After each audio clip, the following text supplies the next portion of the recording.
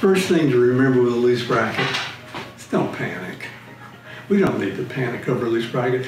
So that's the good news. Number one, don't panic. Number two, remember this wonderful orthodontic wax that you got the day you got your braces on.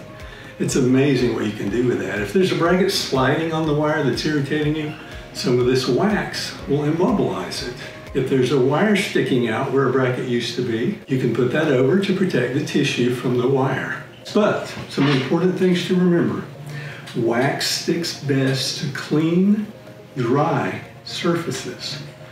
So get the toothbrush out, find that little proxy brush, and let's go ahead and get the scrambled eggs, the grits, the hamburgers, uh, yes, even the refried beans and the chips. Let's get those off the teeth, get everything clean.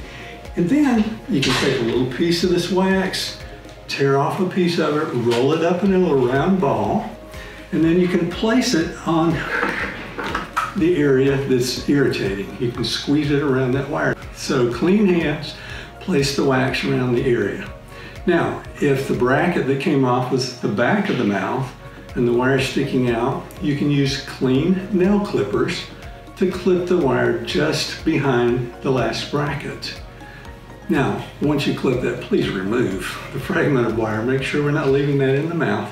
And again, you can use wax to cover that.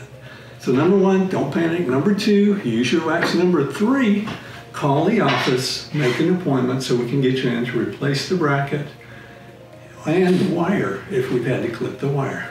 So I hope that's helpful.